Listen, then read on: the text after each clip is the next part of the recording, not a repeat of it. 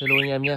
Mình uh, quay clip mới nhất của Khánh Thúc Mình cho hai em solo một tí nhé. Mình nhân cầm tay rất là mỏi.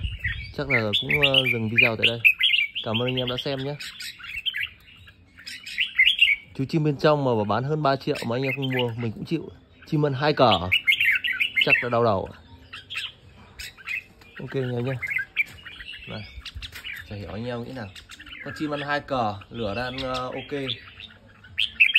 Bao cờ chuẩn luôn. Giá hơn 3 triệu mà anh em chả mua. Đau đầu anh em.